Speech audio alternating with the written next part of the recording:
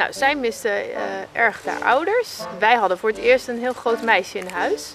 Eh, dus dat, we moesten erg wennen aan elkaar. Eh, oh, voor mij was ik zes. Ik was nog heel klein.